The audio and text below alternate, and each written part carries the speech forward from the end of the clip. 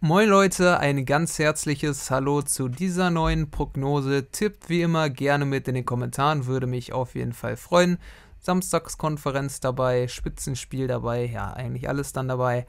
Viel Spaß beim Zuschauen. Ich bedanke mich ganz herzlich bei euch fürs Reinschalten. Los geht's erstmal mit dem Spiel Bremen gegen Frankfurt. Dann die Konferenz, Kapitelmarken, ihr kennt das alles. Hier einmal die Ergebnisse der Vorwoche und die Tabelle im Überblick. Drückt Pause, wenn euch das tiefergehend interessiert. Ansonsten, los geht's mit der Prognose. Viel Spaß! Der SV Werder Bremen sollte mittlerweile ganz genau wissen, wo er steht, denn von unten klopfen die Kellerkinder an und der SV Werder Bremen würde sich lieber auf eine sichere Mittelfeldsaison einlassen. Das ist mittlerweile nicht mehr gewährleistet. Für die Gäste aus Frankfurt heißt es jetzt Champions League Plätze verteidigen. Und das ist durchaus möglich nach dem guten Erfolg zuletzt gegen den FC Bayern München. Diesem 2 zu 1 ist man hier im Weserstadion klarer Favorit. Letzte Saison auch hier deutlich gewonnen. Die erste Offensivaktion in Anführungszeichen gehört, aber den Gastgebern doch, es war eine deutliche Abseitssituation. Frankfurt verhalten, abwarten, nicht unbedingt so erwarten, zu erwarten gewesen. Aber die Bremer mussten dann auch erstmal das Spiel machen. So schlecht machten sie es nicht, wie man es hätte erwarten müssen, denn nach vorne geht in dieser Saison doch herzlich wenig bei Grün-Weiß. Knappe halbe Stunde gespielt. Frankfurt übernahm jetzt mehr und mehr das Kommando. Kamada holt sich hier den Ball, scheitert an Pavlenka und nochmal Kamada. Ja, das hätte es schon wieder sein können für die gut aufgelegten Frankfurter. Erst Pavlenka, der gut reagiert, dann ist Toprak da und geht in den Zweikampf. Frankfurt aber wurde doch mal stärker. Ayman Barkok mit dem Ball am Fuß. Barkok kommt nicht durch gegen Toprak, aber Jovic holt sich nochmal den Ball. Silva muss heute nochmal aussetzen.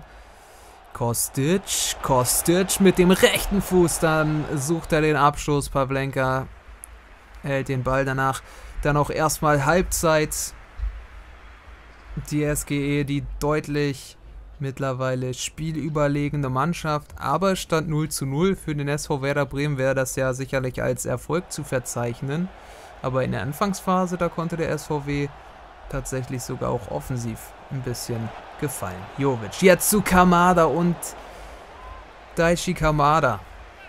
Ein hochveranlagter Fußballer, der ab und an dann vor dem Kasten seine Qualitäten vergisst, denn die hat er ohne Frage. Knapp über eine Stunde gespielt. Eintracht Frankfurt wollte jetzt auf das 1 zu 0 drängen. Das ist wieder Kamada. Zu Ayman Bakok.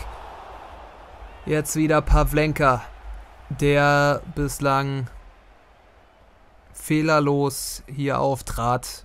Wirklich viele Chancen vereitelte. Auch ein paar Hundertprozenter, die nicht hinter ihm landeten. Der anschließende Eckstoß von links getreten. Kostic am ersten Pfosten. Jetzt ist er da. Daichi Kamada mit dem 0 zu 1. Kleines Zeichen an die Kritiker. Finger vor Mund, ja. Ich habe doch gar nichts gesagt. Er steht 1 zu 0 für Frankfurt am Freitagabend. Super Kopfball. Am zweiten Pfosten steht dann keiner. Pavlenka überwunden und Gebre Selassie am ersten Pfosten schaut traurig hinterher. Die Gäste wollten auch nichts mehr anbrennen lassen. Nochmal Frankfurt mit Sebastian Rode und wieder Werder Bremen mit Pavlenka, der das Spiel hier offen hielt. Die Vorentscheidung erstmal vertagte. Und tatsächlich kam dann noch einmal der SV Werder. Möwald leitet den Konter ein mit Milot Rashica. Ein weiter Schlag zu Felix Agu. Sargent jetzt gerade noch im Abseits, lässt sich fallen. Sargent mit dem Seitfallzieher, aber wirklich gefährlich wird es hier nicht für Kevin Trapp. So blieb es am Ende beim 1 zu 0 Frankfurt über 90 Minuten gesehen schon die bessere Mannschaft, dementsprechend auch verdienter Sieger. Werder Bremen konnte aber zumindest Ansätze zeigen. Und damit ein ganz herzliches Hallo zur Samstagskonferenz am 23. Spieltag. Diese vier Spiele haben wir für Sie vorbereitet. Der FC Bayern München nach der Pleite gegen Eintracht Frankfurt in der Bringschuld, denn RB Leipzig kratzt und sticht so langsam von hinten. Gegen den ersten FC Köln ist das im Prinzip eine Formsache, aber die Form, sie ist vor allem in der Bundesliga momentan extrem schwankend. Nachdem die Form beim VfB Stuttgart zuletzt eher schwach war, konnten sie mittlerweile wieder mehr Fuß fassen. Für einen Aufsteiger mit jung besetzter Mannschaft sicherlich ganz normal und die sind auf Platz 10 in der Tabelle ziemlich in sicheren Fahrwassern. Trotzdem, es fehlen noch ein paar Punkte. Heute gegen den Tabellenletzten FC Schalke 04 ist es klar, soll es für die Schwaben den nächsten Heimsieg geben und möglich ist das allemal. Und hier in Dortmund ist ein Heimsieg ebenfalls eingeplant, denn zu Gast ist Arminia Bielefeld, die Arminen, die sich in den letzten Wochen extrem schwer tun, aber eben auch die Bayern geärgert haben beim 3 zu 3. Aber da muss schon vieles zusammenlaufen, dass das heute wieder so klappt. Dortmund scheint wieder die richtige Fußballtaktik gefunden zu haben und ist hier klarer Favorit. Und im vierten Spiel haben wir auch einen klaren Favoriten. Das ist der VfL Wolfsburg, der Hertha BSC zu Gast hat. Die Mannschaft von Paul Dardai hier unter enormen Druck, denn sie haben 18 Punkte, nur noch ein Punkt Vorsprung auf den direkten Abstiegsplatz, punktgleich mit Platz 16 Arminia Bielefeld und die Armin haben ja noch ein Nachholspiel. Also wichtig für die Hertha, aber Wolfsburg, es spricht im Prinzip alles für die Elf von Oliver Glasner. Starten wir in München. Starten wir in München. Der FC Bayern in den roten Trikots von links nach rechts und wir sehen es, Choupo-Moting und Roka, die in der Startelf nicht unbedingt zu erwarten waren, nach dem, was in der letzten Woche gegen Frankfurt gespielt wurde. Aber die Spieler, sie fallen eben nicht vom Himmel und heute gegen den ersten FC Köln müssen sie eben gewinnen. Das ist eine Pflicht, die sie zu erfüllen haben und der erste FC Köln, er hat gezeigt, dass er große Mannschaften ärgern kann. Dortmund, Gladbach, dort jeweils auswärts gewonnen, aber trotzdem, die Chancen stehen hier unglaublich gut für den FC Bayern München und sie setzen sich hier halt auch gleich vorne fest mit Kingsley Coman, der in den Strafraum einzieht. Mit drei Mann wird er da gedeckt, Rocker dann völlig frei, Lewandowski zurückgelegt zu Schuppomoting. Und so schnell kann es dann klingeln. Etwas mehr als sechs Minuten gespielt und der FC Bayern München geht in Führung gegen den ersten FC Köln, der hier noch gar nicht auf dem Feld zu sein scheint. Aus 10 Metern kommt Choupo-Moting da frei zum Abschluss. Der bedankt sich, ansonsten wäre auch Kimmich da gewesen, das ist nicht mal wirklich ein guter Schuss, der ist einfach nur flach und hart genug, sodass Timo Horn nicht mehr rankommt. Was für ein Auftakt hier in der Allianz Arena. Große Tor in Wolfsburg. Gabe jetzt für Köln und ein Tor in Wolfsburg. Ebenfalls das frühe 1 zu 0 für die Gastgeber. Yannick Gerhardt bringt die Favoriten in Front. Es ist für die Hertha der nächste Albtraum. Gegen Leipzig hatte man sich eine Halbzeit lang gut geschlagen. Hier ist man ganz früh in der VW Arena im Hintertreffen. Gerhard, der sich da drehen kann, abschießen kann, auf der 10 mittlerweile sein richtig guten Posten gefunden zu haben scheint. Für Rune Jahrstein ist dort nichts, aber auch gar nicht zu halten. Ein Albtraum ebenfalls wie in München für Köln, hier in Wolfsburg für die Hertha. Das kann eigentlich nicht schlechter losgehen. Und es wurde eben angesprochen. Tor in Dortmund. müssen sie Punkte holen und vielleicht geht Bielefeld jetzt auch davon mit einem Tor in Dortmund. Das können wir erstmal verneinen, denn das 1 zu 0 erzielt der Mann der Stunde, Erling Haaland, für Schwarz-Gelb gegen Arminia Bielefeld hier im Niederlande-Dress, komplett in Orange gekleidet. Da wird Erling Haaland Geleitschutz geboten. Mehr ist das dann aber auch nicht von Arminia Bielefeld, die lange Zeit in dieser Saison ein gutes Torverhältnis hatten. Mittlerweile geht ihnen auch das vor die Hunde. Es ist aber auch nicht einfach, wenn man Erling Haaland verteidigen muss. Wir haben drei Tore gesehen, dreimal 1 zu 0. Ein Spiel fehlt noch, da steht 0 zu 0 und das findet in Stuttgart statt. Zu Gast der FC Schalke.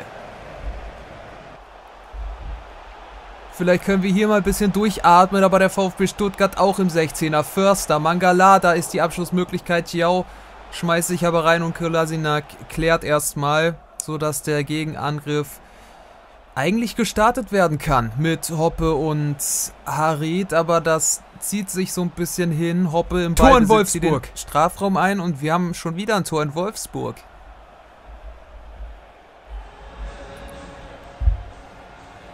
Die Hertha droht hier auseinanderzubrechen. 15. Minute 2 zu 0 für den VfL. Das gibt es ja nicht. Wechhorst gegen Bielefeld nicht selber getroffen. Hier wieder eher in der vorbereitenden und assistierenden Rolle. Arnold mit dem Kopf. Ja, will man da Jahrstein irgendwie was vorwerfen? Er steht da vielleicht ein bisschen zu weit vorm Kasten, aber das ist defensiv wirklich eine Katastrophe, deswegen, was gegen Leipzig noch gut geklappt hat. Und da muss ich erstmal wieder meine Worte finden. Was gut geklappt hat gegen Leipzig, das ist hier überhaupt nicht zu sehen. Das ist schwach. Es steht 2 zu 0 und das könnte hier richtig übel werden. Die Hertha muss jetzt langsam aufwachen, sonst wird es richtig brutal. Köln scheint sich gefangen zu haben. Fürs Erste scheint das der Fall zu sein bei den Geißböcken, die hier in komplett gelb auftreten. Jetzt haben sie sogar eine Kontermöglichkeit. Da sind die Bayern ja verwundbar. Isibue aber verliert den Ball. Rocker ebenfalls, aber sehr fahrlässig mit dem Spielgerät am Fuß. Rex Beschei, Emanuel Dennis legt nochmal raus. Skiri bekommt da auch erstmal Luft zum Atmen. Skiri, Duda kommt aber nicht durch. Der Ball zu Jakob, Süle hat den Ball, Bayern hat den Ball. Hier ist es nicht spektakulär, steht 1-0. So sieht es auch in Dortmund aus. Es ist aber zumindest ein bisschen spektakulärer. Dortmund machte wirklich ein gutes Spiel. Amina Bielefeld jetzt aber auch vorne mal zu finden mit Vlap und Klos, die gegen die Bayern überzeugten beim 3 zu 3, aber jetzt gegen Wolfsburg zuletzt wieder abfielen. Da haben wir immer die Ergebnisse, die Zwischenergebnisse im Überblick. Vier Tore schon gefallen, hier immerhin auch eines davon. Und Holland hat eine sehr gute Übersicht. Jaden Sancho zu Marco Reus wird ein bisschen wenig draus, war viel Platz da. Mittlerweile Arminia Bielefeld aber wieder ganz gut sortiert. Morai auch der hat toll abgeliefert beim Derby gegen den FC Schalke 04, macht das hier auch ganz locker souverän. Dortmund sollte schnellstens eins nachlegen und wenn es hier 2-0 erstmal steht, dann wird es für Bielefeld brutal schwer nochmal zurückzukommen. Holland nochmal. Julian Brandt, wo bleibt der Abschluss? Wir warten so ein bisschen drauf. Das zieht sich und zieht sich und zieht sich und deswegen hat Bielefeld den Ball und wir geben ab. Ja, wir sind hier wieder in Stuttgart. Knappe halbe Stunde jetzt gespielt, 0 zu 0. Wir haben es eben kurz in der Übersicht gesehen. Der einzige Platz, auf dem es noch nicht geklingelt hat. Dürfte erstmal für den FC Schalke 04 das bessere Zeichen sein. Auf der anderen Seite ist es schon das Motto seit Wochen. Punkte, einfache Punkte helfen Schalke auch nicht weiter. Sie müssen halt gewinnen. Da führt gar kein Weg drumherum. Stuttgart konnte am Ende des Tages wahrscheinlich sogar besser mit dem 0 zu 0 leben oder mit dem Unentschieden. Aber auf der anderen Seite auch das dann wieder eher eine vertane Chance gegen den abgeschlagenen Tabellenletzten. Das muss man sich immer wieder nochmal vor Augen rufen oder vor Augen führen. Kalajdzic mit dem Ball am Fuß schließt ab. Lange hat den Ball. Wir schauen nochmal auf diese Möglichkeit. Immerhin mal wieder ein Torschuss und wir geben ab nach München.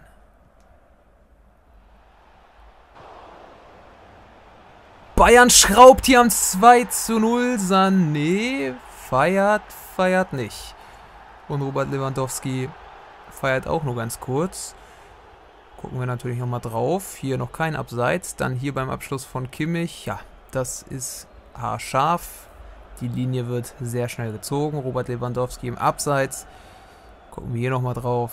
Ja, hier eben noch keine Abseitsposition. Drüben wird es aufgehoben. Dann aber hier. Dann geht er zum Ball. Leroy Sané schließt zwar erfolgreich ab, aber der Treffer zählt vollkommen zu Recht nicht. Aber die Bayern sind schon wieder im Ballbesitz. Spiel wird schon fortgeführt. Und Sané. Jetzt hätte der Treffer gezählt. Also den hätte er gerne mal machen können. Tor in Stuttgart. 2 zu 0 und wir haben den ersten Treffer in Stuttgart. Für die Gäste. Suat Serda, 41. Spielminute. Ist das etwas sowas wie Hoffnung, was hier beim FC Schalke 04 aufkommt? Das gibt es ja gar nicht. Die defensive Anfälligkeit des VfB Stuttgart konnte zuletzt gegen den ersten FC Köln oder vom ersten FC Köln nicht ausgenutzt werden, aber hier Suat Serda für mittlerweile doch mutige Schalker.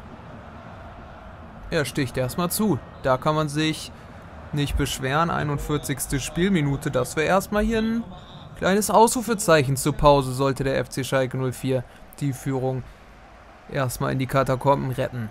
Sieht ganz gut aus. Der VfB Stuttgart ja auch durchaus mit einer Heimschwäche. Wir gucken später weiter.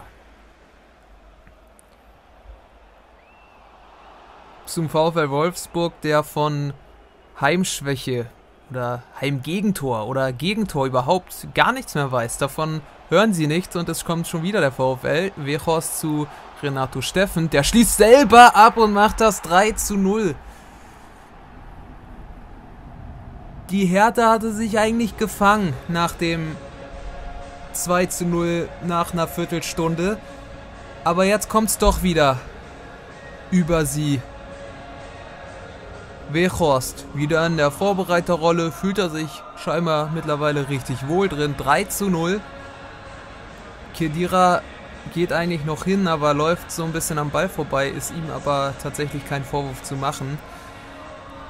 Es läuft alles gegen Hertha. Das ist nahezu hier erledigt. Und in Dortmund? Hier ist noch nichts erledigt. Arminia Bielefeld mittlerweile mutig. So richtig große Torchancen kamen nicht bei rum. Jetzt ist auch erstmal Halbzeit. Und das 1 zu 0 geht auch absolut in Ordnung. Das ist ja gar keine Frage. Aber sie dürfen es nicht verpassen, die Schwarz-Gelben zu erhöhen. Nicht, dass es am Ende nochmal eng wird. Das hatte man hier in Dortmund auch schon des häufigeren, des Öfteren gehabt. Also 1-0. Wir gucken uns auf die Zwischenergebnisse und dann geht es weiter in der zweiten Halbzeit. Ja, hier habt ihr einmal die Ergebnisse im Überblick. Bayern 1-0 gegen Köln, Dortmund 1-0 gegen Bielefeld, Wolfsburg sogar 3-0 gegen Hertha, Stuttgart, Schalke 0-1. Ja, lasst doch gerne einen Daumen nach oben und ein Abo da, würde mich auf jeden Fall freuen. Ansonsten vielen Dank fürs Zuschauen. Es geht weiter mit der zweiten Halbzeit. Viel Spaß und danke fürs Reinschalten. Da sind wir wieder. Der erste FC Köln liegt nur mit 1 zu 0 hinten. In München hat damit durchaus berechtigte Hoffnungen auf einen Punkt. Aber sollte der erste FC Köln hier tatsächlich gegen die Bayern, die zwar nicht so gut drauf sind, aber trotzdem eben die Bayern sind, einen Punkt mitnehmen. Wir schauen auf den Treffer von Choupo-Moting aus der ersten Halbzeit. Ist ja ziemlich früh gefallen. Knapp sieben Minuten waren da gespielt. Köln muss sich auf jeden Fall was einfallen lassen. Ansonsten kommt hier nicht mehr viel zustande, steht aber eben angesprochen nur 1-0. Anders sieht's aus in Wolfsburg. Da würde die Hertha sicherlich einiges tun, um nur ein 1 zu 0 hier zu haben, aber sie haben eben in der ersten Halbzeit nicht dafür genug getan. Dementsprechend steht es deutlich 3 zu 0. Und um überhaupt hier was mitzunehmen, ja, es fehlt einem tatsächlich. Tor in München! Wo soll es herkommen? Und wir haben das nächste Tor in München. Guter Auftakt. 2 zu 0 Robert Lewandowski in der 52. Spielminute und es ist eventuell schon der gezogene Stecker bei Köln. Rocker legt's auf.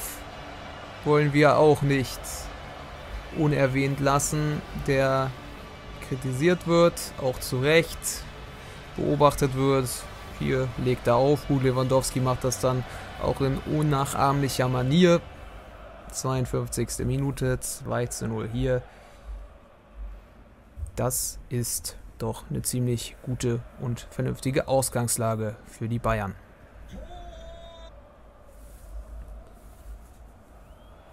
Diese gute Ausgangslage würde sich auch der BVB ganz gerne herausspielen. Dieses 2 zu 0.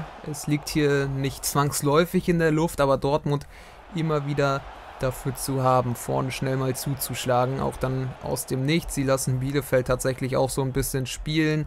Die Mannschaft von Uwe Neuhaus weiß nicht allzu viel mit dem Ball anzufangen, also alles so, wie man es eigentlich erwarten konnte. Aber den Fehler wird der BVB auch nicht begehen, hier komplett die Offensive einzustellen. Elfmeter in Wolfsburg. Und Elfmeter in Wolfsburg ist wichtiger. Für den VfL verursacht von Lukas Klünter und es könnte jetzt richtig übel für die Hertha werden. Handspiel von Klünter aus dieser Position eher schlecht zu erkennen und Wout Weghorst, ja, er hat schon verschossen Elfmeter in dieser Saison, aber wird direkt vorher ausgewechselt. Das ist ja vielleicht mal ein Zeichen von Glasner und Bialek mit dem ersten Ballkontakt. Er zittert den Ball über die Linie. Das war kein guter Elfmeter. Aber jeder Elfmeter, der drin ist, ist herausragend. Deswegen ist gut hier eigentlich gar kein Kriterium. Der Ball ist drin, auch wenn Jahrstein nicht gut aussieht. Erster Ballkontakt Bialek, das ging doch jetzt relativ schnell. So schnell, als wäre er zum Elfmeterpunkt hingesprintet. Erster Ballkontakt kann sich sehen lassen, zumindest vom Ergebnis her. Ausführung beim Elfmeter, wie gesagt, zweitrangig, maximal. Hier steht es 4-0, 0-1 steht's in Stuttgart. Und damit hätte man nicht unbedingt rechnen können. Und der FC Schalke 04, er macht weiter mutig. Stambuli kommt nicht durch und Serda! 0 zu 2. 60. Minute, der FC Schalke 04 geht mit 2 zu 0 in Führung.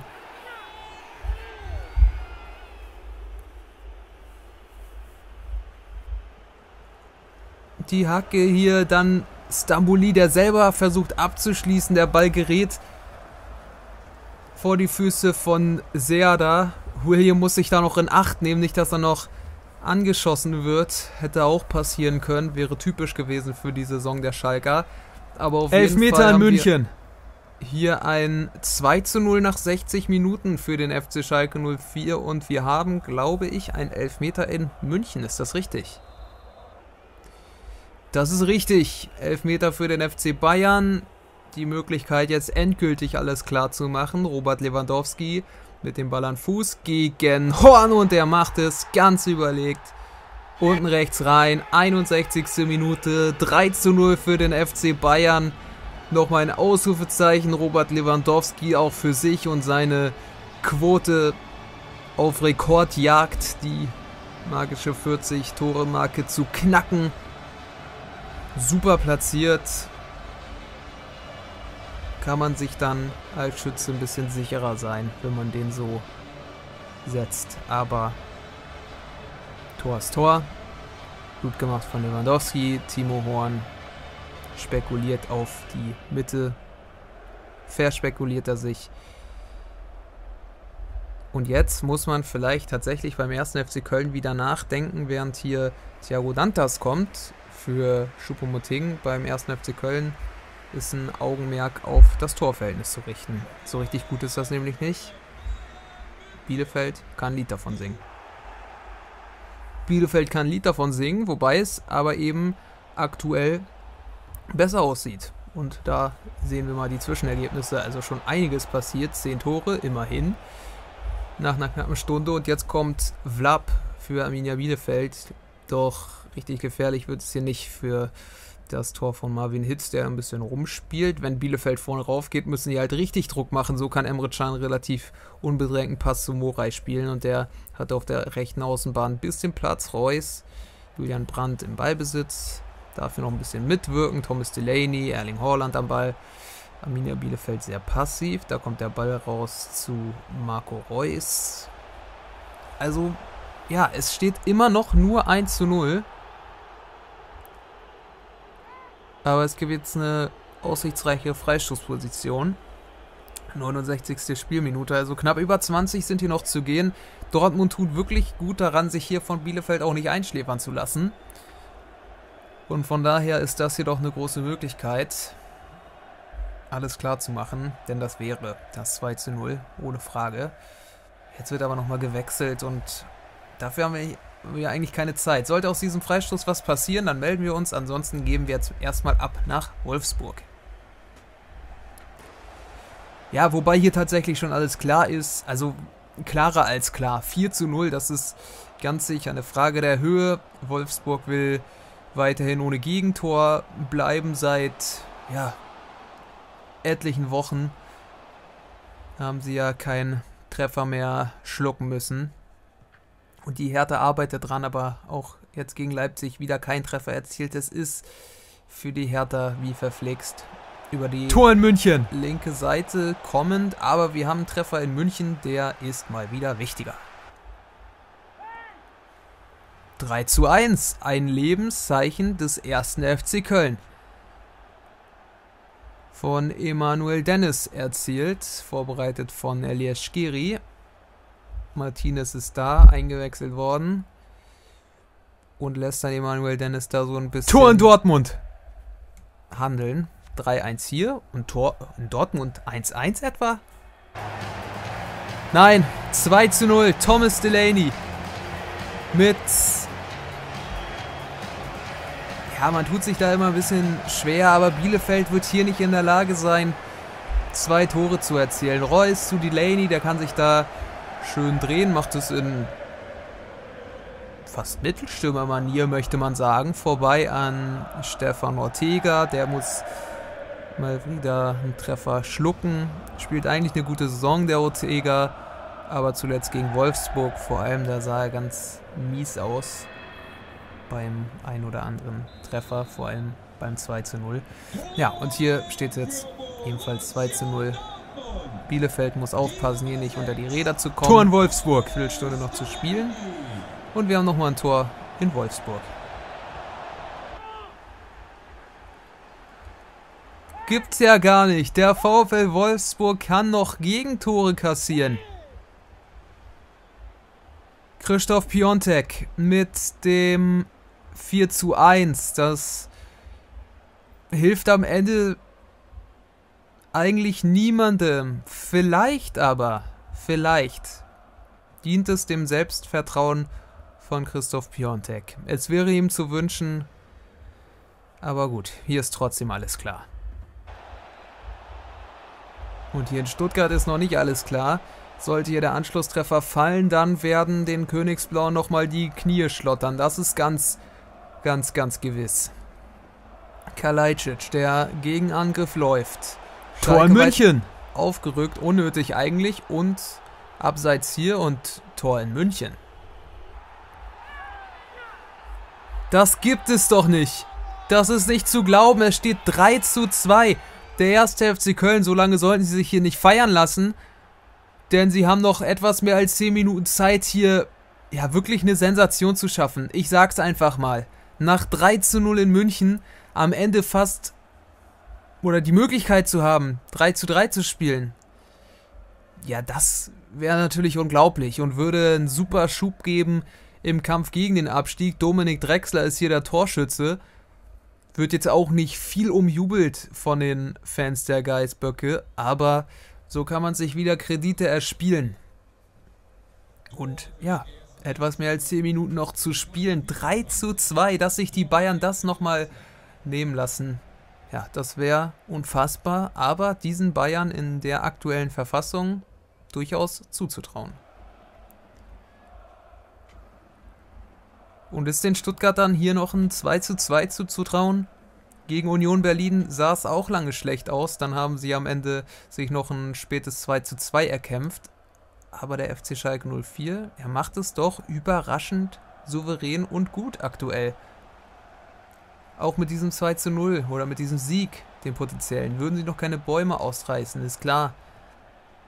Aber es wäre der Hoffnungsschimmer, vielleicht der entscheidende, man weiß es nicht. Zu viel wollen wir nicht reininterpretieren. Erik Tommy kommt nämlich, lange ist das hier nicht, nicht noch nicht vorbei. Mangala, Stamboli, der sich gut reinschmeißt, hier eine Leistungssteigerung zeigt, im Gegensatz zum Spiel gegen Dortmund, vor allem auch keine individuellen Fehler mehr. Endo zu Kalajdzic, der hat jetzt zu viel Platz und macht dann doch den Anschluss. 88. Spielminute. Der VfB darf nochmal hoffen. Und in der aktuellen Phase ist es fast folgerichtig, dass Sasa Kalajdzic als Torschütze aufgeführt wird. Mit dem linken Außenriss angenommen, mit rechts vollendet. 1 zu 2. Es gibt noch eine kleine Hoffnung. Und in München für Köln ebenfalls. Ja, aber sie müssen sich ranhalten, die Kölner. Viel ist eben wirklich nicht mehr zu gehen. Die Bayern schenken jetzt hier den Ball her. Es wäre tatsächlich eine unglaubliche Geschichte. Der Moral für die Elf von Markus Gisdol. Ansonsten vielleicht trotzdem bisschen was, was Mut macht im Abstiegskampf. Von einem 3 zu 2 kann man sich aber nichts kaufen. Oben, wir sehen es, Wolfsburg kehrt da bereits vorbei. Das Spiel 4 zu 1 gewinnen da die Wölfe, kassieren mal wieder ein Gegentor. Köln kommt hier aber nicht mehr an den Ball und so richtig druckvoll spielen sie nicht. Bayern mit dem weiten Ball nach vorne, das gibt Zeit. Nachspielzeit ist eigentlich rum. Kingsley Coman hat den Ball dann nochmal am Fuß. Davis rückt nach. Und auch Dortmund Bielefeld vorbei. Mit 2 zu 0 gewinnt der BVB. Und jetzt ist Schluss. Jetzt ist hier Schluss. Bayern gewinnt mit 3 zu 2. Wurde am Ende knapper als notwendig. Aber die drei Punkte sind da. Und das dürfte den FC Bayern beruhigen. Die drei Punkte für Schalke. Noch nicht im Sack, wie ich höre. Es gibt einen letzten Standard. Eckball von der rechten Seite reingetreten. Serda ist dabei. Zu Castro. Boah, der verliert hier fast den Ball. Gefährlich. Castro. Muss eigentlich den Ball hereingeben. Castro, wo bleibt der Ball? Wo bleibt die Flanke? Zurückgelegt zu Mavropanos. Und jetzt wird abgepfiffen. Ja, das haben sie verschludert. Diese Situation hätten sie irgendwie besser ausspielen können, ausspielen müssen. Und so gewinnt Schalke zum zweiten Mal in dieser Saison zum ersten Mal auswärts. Das ist doch mal ein kleines Zeichen.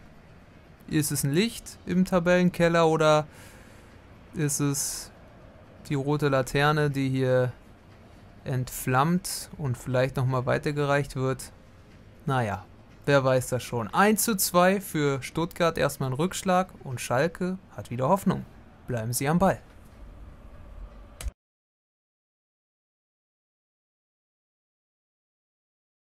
Für die Gäste. Suat Serda, 41. Spielminute. Ist das etwas sowas wie Hoffnung, was hier beim FC Schalke 04 aufkommt? Das gibt es ja gar nicht. Die defensive Anfälligkeit des VfB Stuttgart konnte zuletzt gegen den ersten FC Köln oder vom ersten und damit hätte man nicht unbedingt rechnen können. Und der FC Schalke 04, er macht weiter mutig. Stambuli kommt nicht durch und Serda! 0 zu 2. 60. Minute, der FC Schalke 04 geht mit 2 zu 0 in Führung.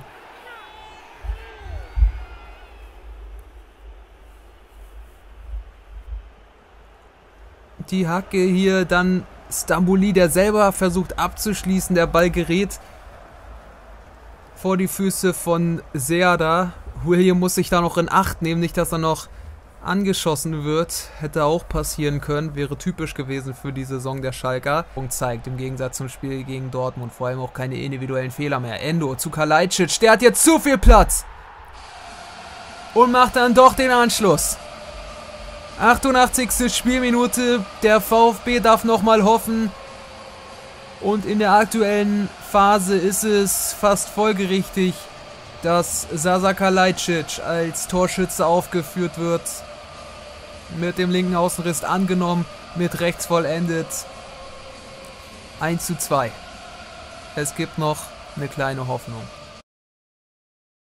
Strafraum einzieht. Mit drei Mann wird er da gedeckt. Rocker dann völlig frei. Lewandowski zurückgelegt zu Schuppomoting. Und so schnell kann es dann klingeln. Etwas mehr als sechs Minuten gespielt und der FC Bayern München geht in Führung gegen den ersten FC Köln, der hier noch gar nicht auf dem Feld zu sein scheint. Aus 10 Metern kommt Choupo-Moting da frei zum Abschluss. Der bedankt sich. Ansonsten wäre auch Kimmich da gewesen. Das ist nicht mal wirklich ein guter Schuss. Der ist einfach nur flach und hart genug, sodass 2 zu 0 Robert Lewandowski in der 52. Spielminute und es ist eventuell schon der gezogene Stecker bei Köln. Rocker legt's auf. Wollen wir auch nicht unerwähnt lassen, der kritisiert wird, auch zu Recht beobachtet wird. Hier legt er auf, gut, Lewandowski macht das dann auch in Unnach. Das ist richtig, Elfmeter für den FC Bayern. Die Möglichkeit jetzt endgültig alles klar zu machen. Robert Lewandowski mit dem Ball an Fuß gegen Horn und er macht es ganz überlegt. Unten rechts rein, 61. Minute, 3 zu 0 für den FC Bayern. Nochmal ein Ausrufezeichen, Robert Lewandowski auch für sich und seine Quote auf Rekordjagd, die magische 40-Tore-Marke zu knacken. Super platziert. Kann man sich dann als Schütze ein bisschen sicherer sein, wenn man den so setzt. Aber Tor ist Tor. 3 zu 1. Ein Lebenszeichen des ersten FC Köln. Von Emanuel Dennis erzielt, vorbereitet von Elias Skiri. Martinez ist da, eingewechselt worden. Und lässt dann Emanuel Dennis da so ein bisschen... Tor in Dortmund! Das gibt es doch nicht! Das ist nicht zu glauben, es steht 3 zu 2. Der erste FC Köln, so lange sollten sie sich hier nicht feiern lassen. Denn sie haben noch etwas mehr als 10 Minuten Zeit, hier ja wirklich eine Sensation zu schaffen. Ich sag's einfach mal. Nach 3 zu 0 in München am Ende fast oder die Möglichkeit zu haben, 3 zu 3 zu spielen. Ja, das wäre natürlich unglaublich und würde einen super Schub geben. Das können wir erstmal verneinen, denn das 1 zu 0 erzielt der Mann der Stunde, Erling Haaland für Schwarz-Gelb gegen Arminia Bielefeld hier im Niederlande-Dress. Komplett in Orange gekleidet. Da wird Erling Haaland Geleitschutz geboten. Mehr ist das. Nein, 2 zu 0. Thomas Delaney mit...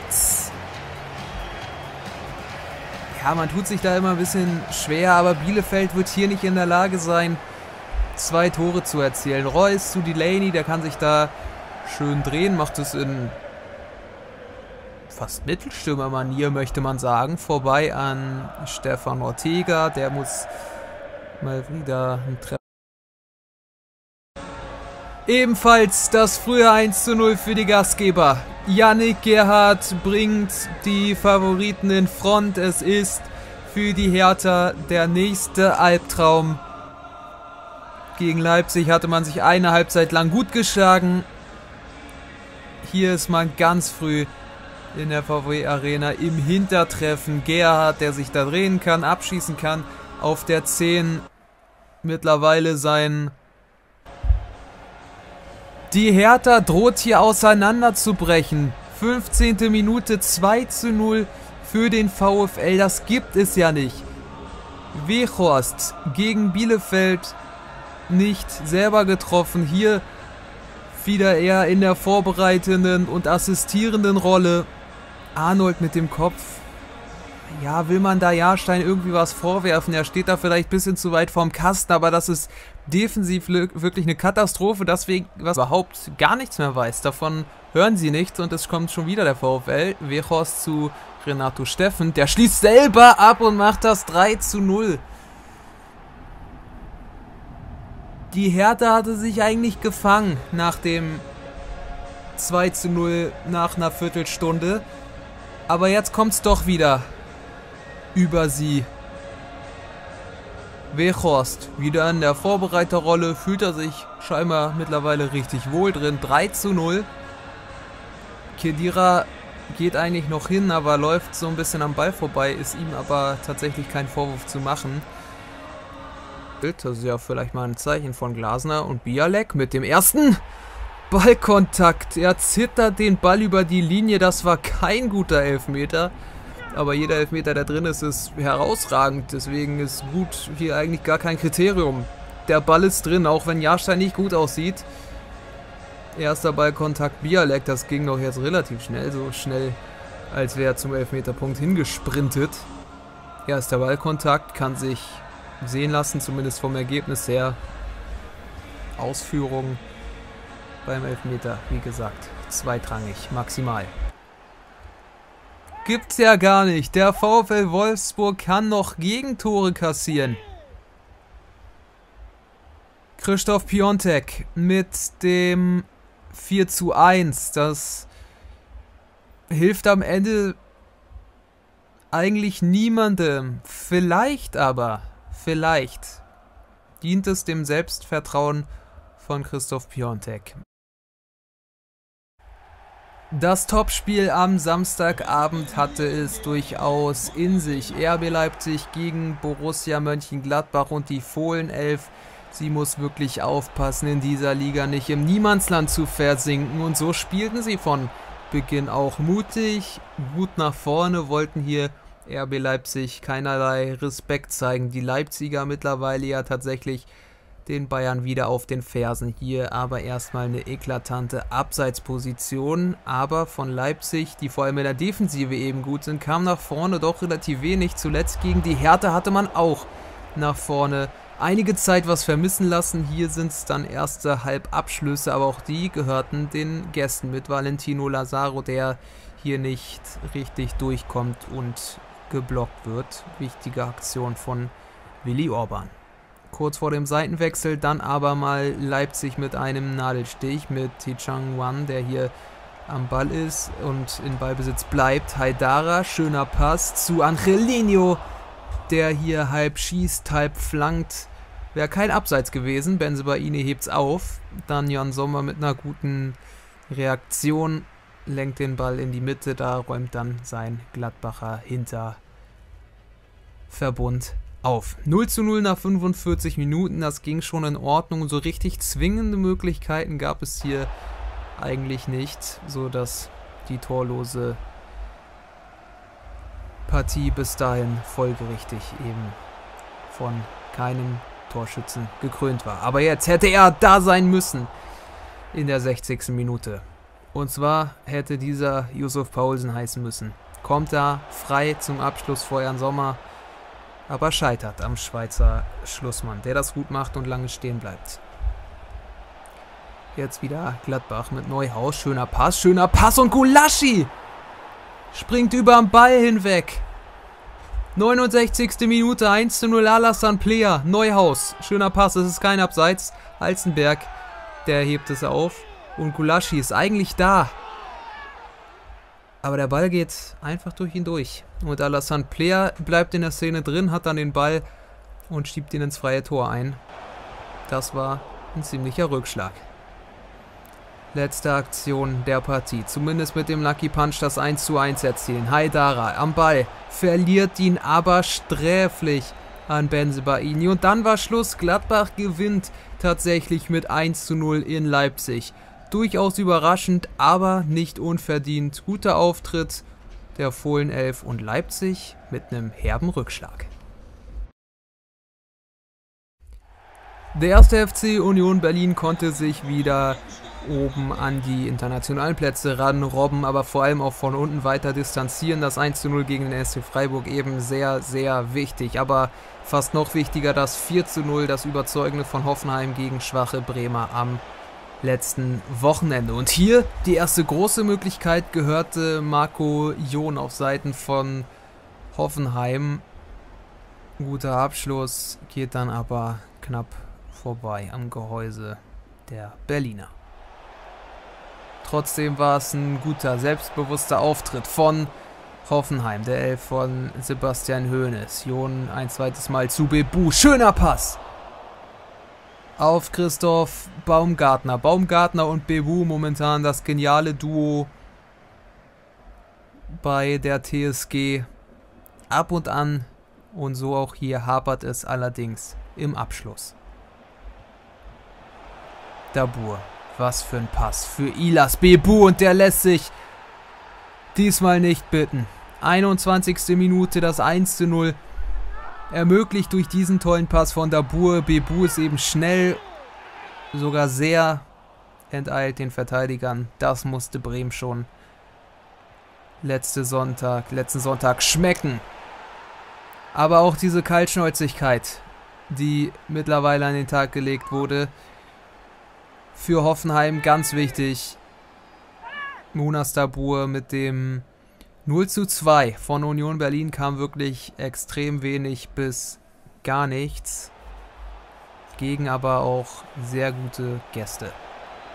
Knapp über eine Stunde gespielt. Hoffenheim legte hier wirklich nochmal einen Gang zu. Jon Sebastian Rudi quergelegt zu Pavel Kaderabek.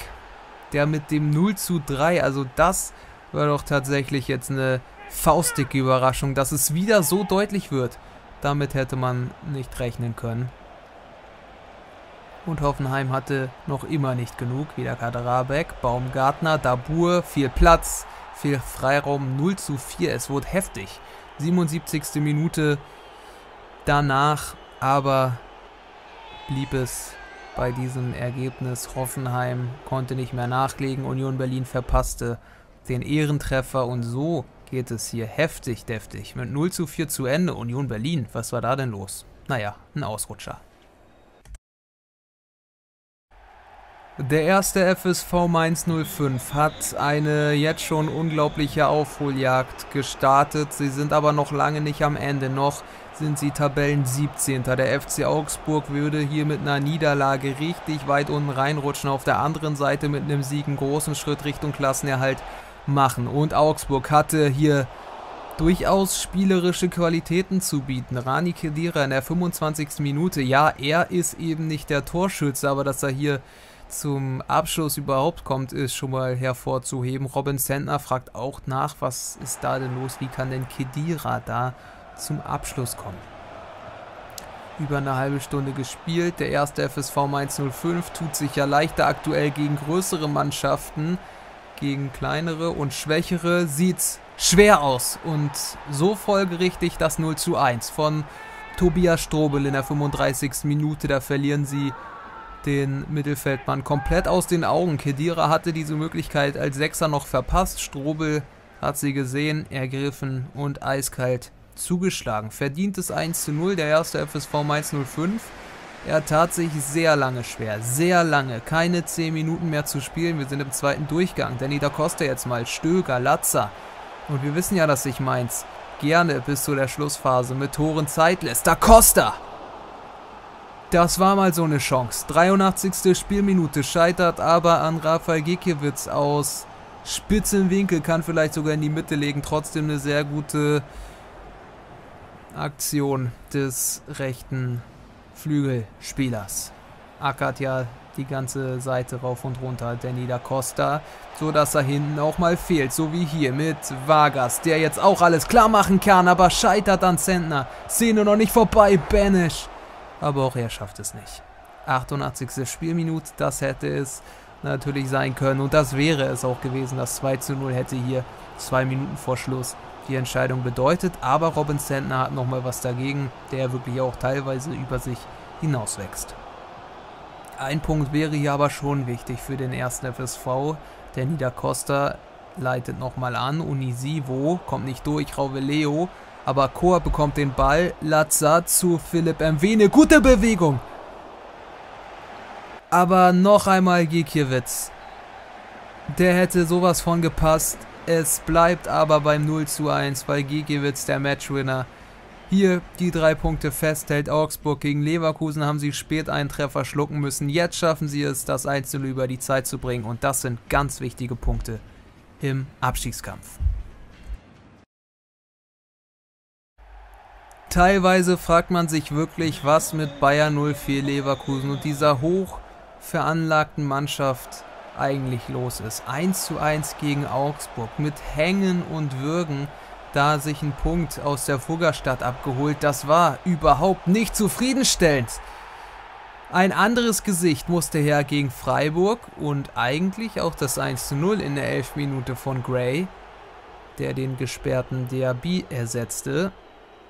Schöner Pass von Würz. Die Fahne ging hoch. Muss wirklich eine Millimeterentscheidung gewesen sein. Die Szene fast ungeschnitten. Wieder Leverkusen. Wendell gewinnt den Ball. Bailey mit Schick im Zusammenspiel. Leon Bailey enteilt da. Günther! Und Bailey schweißt den Ball ein. 13. Minute das 1 zu 0 für die Gastgeber Florian Müller überwunden. Ja, da schneidet die Kamera und die Regie schön ab. Aber der Ball, er hat auf jeden Fall das Netz berührt. Wir haben es nur leider nicht gesehen. Knapp über eine Viertelstunde jetzt gespielt und da kommt auf einmal Ermedin Demirovic 1 zu 1, 18. Spielminute. Der Sportclub antwortet herausragend. Lomp der Radetzky-Vertreter hier ohne eine Chance. Jetzt wieder Leverkusen. Florian Würz und Schick. Der scheitert an Florian Müller. Patrick Schick, der das hier eigentlich ganz gut macht. Auch Gulde da wegblockt. Müller ist aber schnell unten und kratzt den da raus. Hat er wirklich gut gemacht.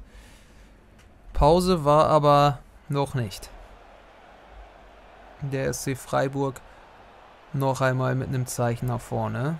Petersen, Demirovic, zurück zu Nils Petersen und Nils Petersen, das gibt es ja nicht. 44. Minute, Freiburg dreht das Spiel und wieder Bayer 04 Leverkusen jenseits von Gut und Böse, sodass es nach 45 Minuten nicht einmal unverdient 1 zu 2 stand. Aber Peter Boss, er musste sich wieder einige Fragen gefallen lassen. Und diese Fragen, sie hört nicht auf. Höfler, dieser Pass zu Baptiste Santa Maria. 1 zu 3.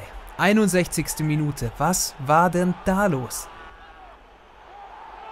Peter Boss hatte doch eigentlich diese eklatanten Defensivprobleme in seinem Spiel behoben. Hier kam wieder alles auf, alles das, was man kannte. Da fehlt aber was. Genau, und zwar die Tore, die selbstgeschossenen. Hier kommt schon mal eins. Florian Würz in der 73. Minute mit dem 2 zu 3. Die Hoffnung plötzlich wieder zurückgekehrt. Das war super gespielt. Aber kaufen konnte man sich davon noch nichts. Höhler mit dem Fehler und Patrick Schick wieder im Zentrum dieser Szene. Schick zu Florian Würz. 3 zu 3, 79. Minute. Was für ein Spiel. Noch einmal eine Wendung. Nach 1-0 Führung und 1-3 Rückstand kehrt Leverkusen zurück am Sonntagabend in diese Partie. Und es war noch nicht Schluss. Noch einmal Bayer 04 Leverkusen. Schick am Ball. Sieht Kerem Demir bei. Florian Würz zu Patrick Schick und der macht es. Der macht es. 85. Spielminute, das 4 zu 3 das siebte Tor an diesem Sonntagabend. Es war unglaublich. Für Freiburg natürlich brutal, aber hier 3 zu 1 zu führen, am Ende mit leeren Händen dazustehen, das tut einfach nur weh. Patrick Schick, der Mann des Spiels, entscheidet dieses Duell. Es blieb beim 4 zu 3. Bayern 0 für Leverkusen springt hier dem nächsten Negativerlebnis von der Schippe.